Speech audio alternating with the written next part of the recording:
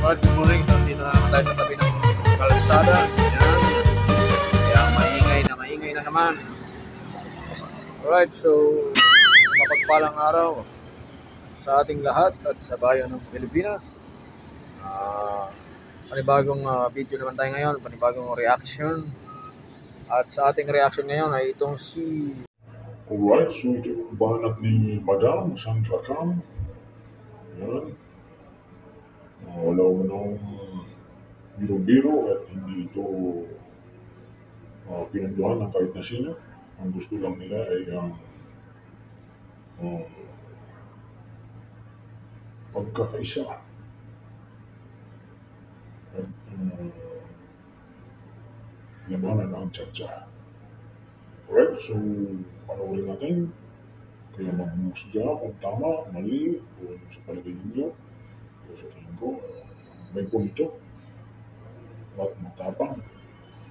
Sa dyan palaban, itong si Madam uh, Sandro Khan.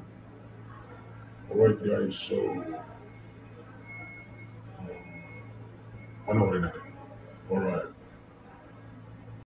Wala ditong nag-finance. Dahil lang sa pagmamahal natin sa bayan, kaya kami nandito. Ah, kapit-bisig ang mga Pilipino. Hindi kagaya ng nasa Quirino, na ang mga empleyado ng gobyerno, minimuhan, I have a copy of your memo, man.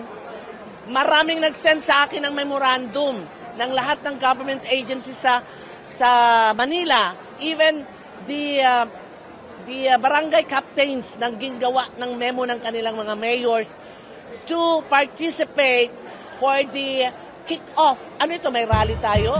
Wala na tayong political ano ngayon. Bakit kailangan ng kick-off rally sa Quirino? Bangon Pilipinas, hindi. Hindi to bangon Pilipinas. Kundi ilinulubog nyo ang ating bayan.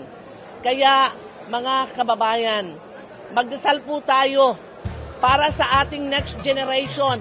Hindi ito tiaw-tiaw. Hindi ito laro-laro.